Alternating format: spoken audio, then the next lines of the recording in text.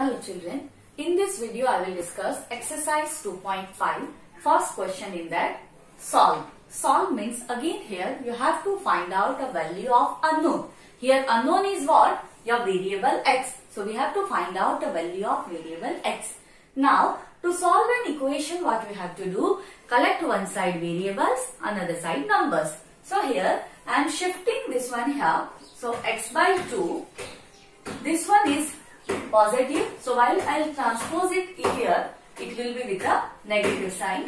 So x upon 3 which is equals to 1 by 4 already it was here plus 1 by 5. Now here take LCM. Your LCM will be 6. So here this number you have to multiply by 3. This one you will multiply by 2.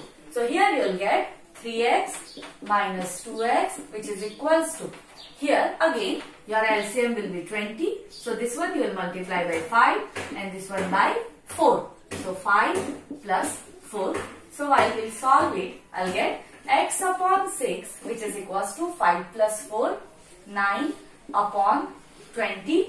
So x is equals to here 6 is in the division. Another side while I will trans transpose it. So here I will get with the multiplication. So 9 into 6 upon 20.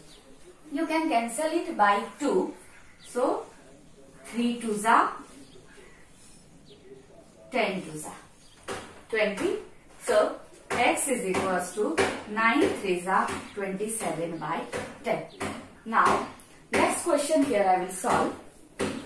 Here third question of your exercise is x plus 7 minus 8x upon 3 which is equals to 17 by 6 minus 5x by 2.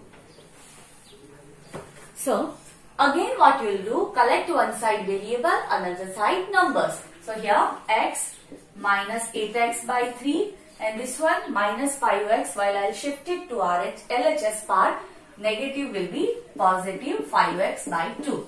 Here, which is equals to 17 by 6, already it was there. Now, this plus 7 I am shifting here so it will be minus 7.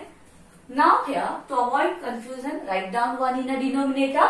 So your LCM is 6. So this number you have to multiply by 6, this one by 2, this one by 3. So when you take LCM you will get 6x minus 8 to the 16x plus 5 3 are 15x which is equals to 17 1 LCM I am taking 6. So this number I have to multiply by 6. So 7 6 are 42. Now observe this 6 6 will be cancelled out.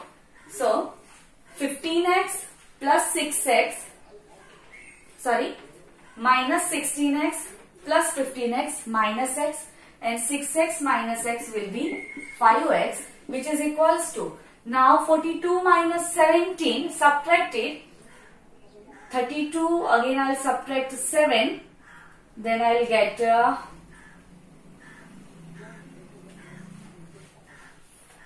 Twenty-five.